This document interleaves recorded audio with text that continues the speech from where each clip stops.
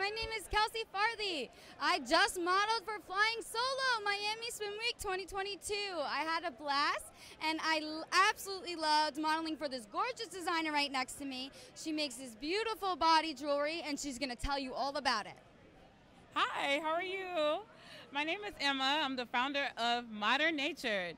Modern Natured, we're a black owned beauty retailer. We carry all types of products hair, skin, and body. And that's why we are here. We are here for our waist beads. Yay!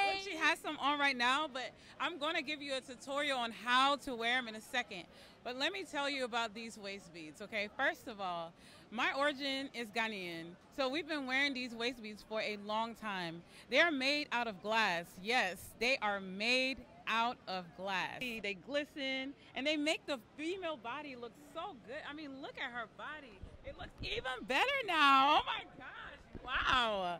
So, and then on top of that, they're great for gauging weight gain and weight loss. If you decide, if you want to track your weight gain or track your weight suck loss, in, suck in, they'll drop. You see that? go to Modern Natured.